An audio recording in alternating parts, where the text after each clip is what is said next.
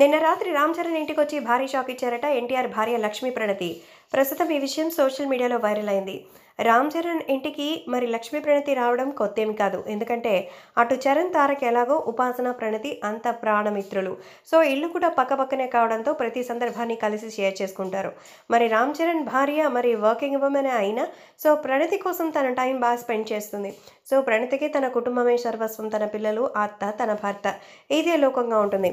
మరి అలాంటి ప్రణతి తీరిక దొరికినప్పుడు ఉపాసనతో టైం స్పెండ్ చేస్తుంది. అందుకే చరణ్ ఇంటికి వచ్చినట్టుగా తెలుస్తోంది.